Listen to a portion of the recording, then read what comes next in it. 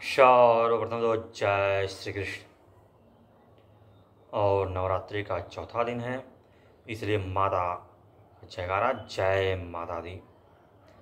देखिए, ये जो संसार है, अगर देखा जाए तो बड़ा ही विचित्र है। इसे हर मनुष्य अपनी अपनी दृष्टि से देखता है। जैसी जिसकी दृष्टि होती है कहते हैं वैसी ही सृष्टि। तो उसी भाव से, जो व्यक्ति जिसको जिस भाव से देखता है, इस संसार को जिस रूप में देखता है, यह संसार उसको उसी रूप में दिखाई देता है। देखिए, कहा गया है कि एक भौतिक संसार है और मतलब एक प्रत्यक्ष आँखों से देख सकते हैं और एक आंतरिक संसार जिसको अंत मन चेतना के द्वारा उसका दर्शन होता है और वह बड़ा ही पवित्र होता है। तो हम सभी लोग जो भौतिक जगत है, इसमें नाना प्रकार के हमें सुख दिखाई देते हैं। और हम इसी सुख के पीछे दौड़ते हैं और इसी सुख की कामना भी करते हैं कि इस सुख की प्राप्ति हमें हो जाए। लेकिन अंत मन का जो सुख है, वह सुख पाने की लालसा ही नहीं करते। और आप देखेंगे कि जितना हम सुख के पीछे भागते हैं, उतना ही हमें दुख होता है। जितना ही बड़ा सुख, उतना ही बड़ा दुख। है, एकदम राइट आप देखिए। लोग कहते हैं सुख के पीछे भागते भागते भागते, क्योंकि व्यक्ति की इच्छाएँ अनंत है ना। और व्यक्ति की इच्छाओं का अंत नहीं हो सकता है। वह इसी भौत जो भौतिक जगत है। और अपनी इच्छाएँ इसी भौतिक जगत में भौतिक सुख साधनों से पूर्ण करना चाहता है। इसलिए लग जाता है। एक उसकी इच्छा पूर्ण नहीं हुई कि दूसरी जग जाती है। दूसरी पूर्ण नहीं हुई कि तीसरी जग जाती है। और ऐसे करते करते वह मरणासन की स्थिति में आ जाता है। तब जीवन में घटना घटित होती है कि मन को शांति नहीं मिल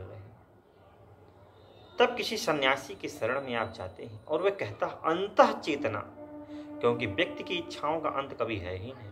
और मरने तक बिस्तर पर पड़ा रहे ना तो भी उसकी कोई ना कोई इच्छा ज़रूर रहती है। इच्छाएँ तो शांत ही नहीं हो सकती हैं। इसीलिए कहा गया व्यक्ति को अपने मन और वाणी पर कंट्रोल, एक तरह नियंत्रण ज़रूर रखना चाहिए। लोग कहते भी हैं, बिया, जो होता है, बिना नियंत्रण बिना नियंत्रण या फिर बिना चाबुक या बिना अंकुश कि कोई जीव हो, कोई जंतु हो, चाहे मानव हो, वह बिगड़ जाता है। ऐसे ही व्यक्ति का मन भी है, यह शरीर भी है। अगर नियंत्रित या इस पर नियंत्रण न रखा जाए तो व्यक्ति का जो जीवन है, वह व्यर्थ हो जाएगा। हमें स्वयं इस पर नियंत्रण रखना होता है।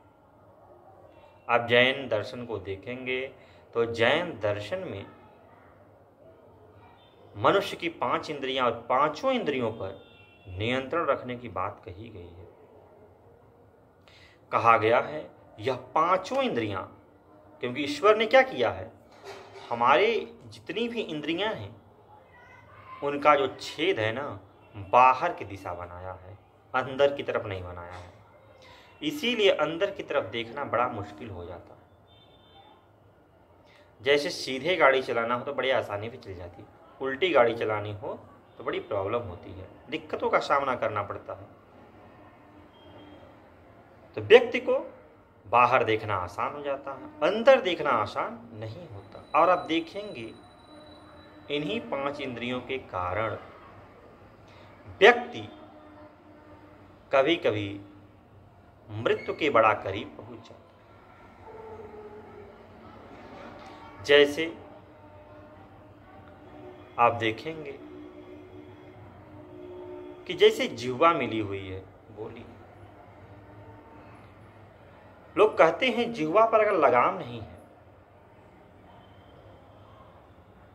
तो कुछ भी खाने को तैयार हो जाएगा। क्योंकि लोग कहते हैं ना, स्वाद स्वाद के लिए खा रहे भाई, स्वाद के लिए खा रहे हो, ये तो ठीक है। लेकिन जो तुम खा रहे हो, इससे नुकसान न हो जाए। दूसरी बात, इसी जिहवा से हम बाणी अर्थात बोलते भी। हम जो भाषा बोल रहे हैं, ऐसा ना हो कि सामने वाले को दुख क्योंकि हमारे बाणी से अगर किसी को कष्ट हो रहा है तो भाई, यह ठीक नहीं है। धर्म ग्रंथों में कहा गया, आप ऐसी वाणी बोलिए कि मन का आपा औरन को शीतल करे आपको शीतल। तो वाणी को इस तरह बोलिए कि आपका मन भी बाद में पछताए नहीं कि अरे यार, हमने बड़ा बुरा बोल दिया। क्योंकि जो भाषा आपको अच्छी लगती, वही भाषा दूसरे को भी बोलनी चाहिए। आप अपने लिए चाहते हो कि मुझे लोग सही से बोले और दूसरे के साथ गड़बड़। आप दूसरे के साथ गड़बड़ भाषा बोलते हो, कैसे चलेगा?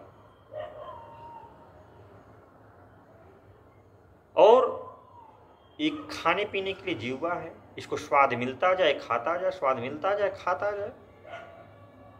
ऐसे बहुत से पदार्थ हैं जिनका स्वाद तो अच्छा है, लेकिन सेहत के लिए अच्छा नहीं है। तो जिहवा पर कंट्रोल होना चाहिए। सुगंध। नाक से आप सुगंध लेते हैं। सुगंध लीजिए, लेकिन इसी नाक से दुर्गंध भी सूंघते हैं। सुगंध के पीछे इतना मत पागल हो जाइए कि आप ऐसे स्थान पर जा पहुँचेंगे जहाँ मौत करीब हो। जैसे हिरन को देखें, उसके नाभि में ही कस्तूरी होता है। और उस कस्तूरी की सुगंध की वजह से बेचारा हिरन खा नहीं पाता है।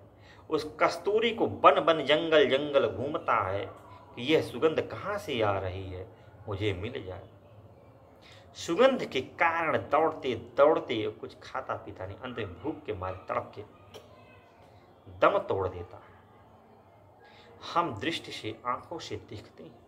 हमारे देखने का नज़रिया अगर सही नहीं है, सामने वाले को बुरा लग रहा है तो युद्ध हो सकता है। इसलिए अपनी आँखों पर भी नियंत्रण रखना चाहिए। आपको भले कोई चीज़ प्यारी लग रही हो देखने में, लेकिन अगर समाज के हित कर नहीं है तो ऐसी चीज़ों को आप न देखिए, जिसको देखने से आपका जीवन बिगड़ सकता है, आपके चरित्र पर लांछन लग सकता है। ऐसी चीज़ों को आपको नहीं देखना चाहिए, आँखों पर नियंत्रण रखिए कि नहीं भाई, ऐसे ही आपकी स्किन है, त्वचा है। इसे भी कभी ठंडी, कभी गर्मी, कभी कुछ और आनंद आता है। तो कब क्या करना है, इस पर भी थोड़ा नियंत्रण रखिए। ऐसे ही अंग हैं आपके पाँच। कानों को सुनना पसंद है। क्या सुनना, क्या नहीं, क्या सही है, क्या गलत? अगर बुरी चीज़ें आप बार बार सुन रहे हैं तो आप बुरी संगति में फंस सकते हैं, बुरे रास्ते पर जा सकते हैं। अच्छी चीज़ सुनेंगे तो अच्छे रास्ते पर जाएँगे। तो देखिए, मनुष्य का जो जीवन है, कहा गया मानुष जो जन्म मिला है, कई जन्मों के पुण्य से जीवन मिला है तो इसको व्यर्थ न गवाइए। कुछ अच्छे कार्यों में लगाइए, अपने इंद्रियों पर नियंत्रण रखिए, और जो मनुष्य अपने इंद्रियों पर विजय प्राप्त कर लिया, उसे जितेंद्रीय बोलते कहते हैं, भले आप सारे संसार पर विजय प्राप्त कर ले, वह महावीर है। जो अपने इंद्रियों पर विजय प्राप्त कर लेता, वही तो महावीर है। क्योंकि अपने इंद्रियों पर विजय प्राप्त करना बहुत बड़ी बात होती है। किसी एक ही इंद्रिय पर विजय प्राप्त कीजिए। धीरे धीरे धीरे हो सकता है आप सारी इंद्रियों को अपने नियंत्रण में कर सकें। और जब अपने नियंत्रण में इनको कर लेंगे तो आप देखेंगे आपका जीवन बड़ा ही सुखमय हो जाएगा। नहीं तो इन्हीं इंद्रियों के कारण जीवन में बड़ा भुगतना भी पड़ता है। तो आज के लिए इतना ही। फिर किसी दिन अन्य वीडियो मिलते हैं। तब तक के लिए जय श्री कृष्ण जय श्री कृष्ण।